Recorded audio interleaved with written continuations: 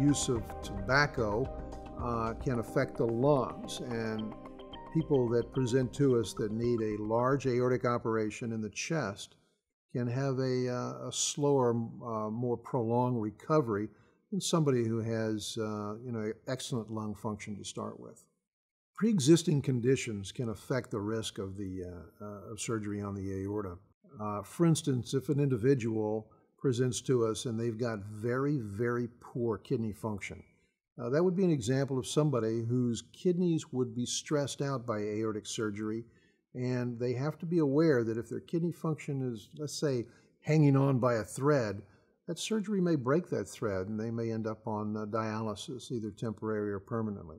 Fortunately, that's not very common, but, uh, but it does occur.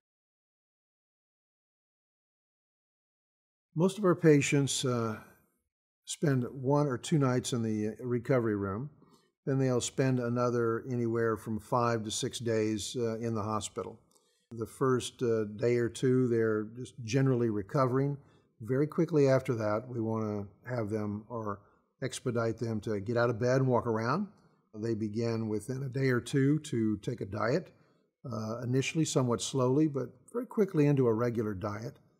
Most patients, when they go home after they've been in the hospital about a week or eight days, uh, are not in a situation where they're going to go home and do their laundry and their cooking and their shopping. So we strongly encourage them uh, to be with a family member and, and have some attention and help for, for a week or two after they go home.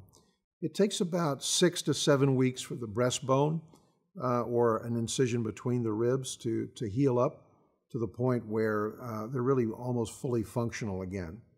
Going back to work is different. It's different for different people. For a desk job, uh, some patients are back to work within three weeks or so. Uh, for somebody who's going to be doing uh, some heavy lifting, it, it may take a couple of three months. What we want them to do is recover completely and then get back to their regular lives. And for the most part, the surgery that's done on them doesn't impact uh, or change their activities over the long term.